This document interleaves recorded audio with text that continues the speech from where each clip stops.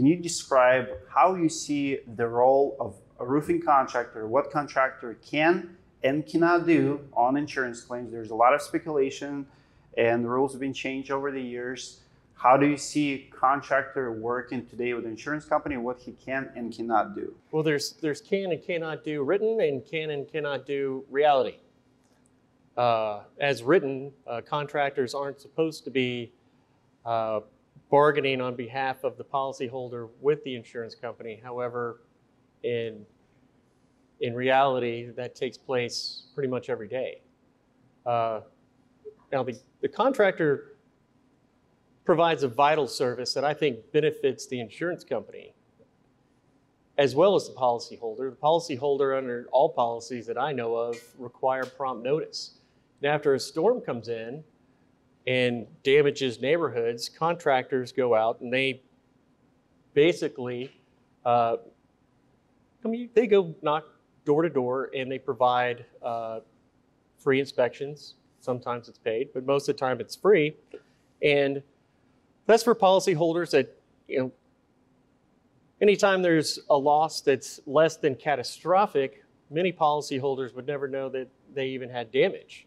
Uh, say the roof covering is, uh, is damaged and uh, you might have water coming in, you might not, but if it comes through, it might not make it through the attic uh, and hit the insured on the forehead as they're walking you know, in to get waffles in the morning they might not know they're, they're having damage. So I believe contractors do provide a, a vital service. They let the policyholder know that they have been damaged by that latest storm so they can provide prompt notice to the insurance company. Anytime notice is delayed for any reason, it makes it more difficult for the insurance company to adjust the claim. So as I mentioned, there is a contract between the policyholder and the insurance company where the insurance company agrees to pay for damage. Then there's an entirely separate contract between the homeowner and the contractor, where the contractor agrees to fix damage. They are completely separate contracts. Neither controls the other. But there is that area where both are dependent upon one another, aren't they? So, what's the contractor's role in the claim process? Well, the simple answer is none. The contractor is there to fix the damage that the insurance company pays for. But I agree with Chad that there is an area where we all are better off working together. Chad used the word in his opening statement, two words, be kind. Those of you that know me, I like to say, be nice. And I always say that when I'm at the events with contractors, I put up a big smiley face and say, be nice. So there is a role for contractors in the claim process.